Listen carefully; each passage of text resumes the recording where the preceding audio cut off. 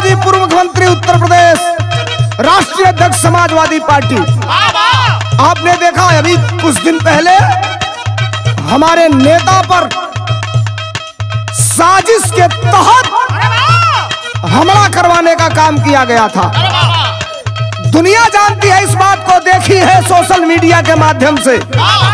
और उसके बाद भी ये भाड़ मीडिया, ये गोदी मीडिया बात सामने नहीं ला रही है।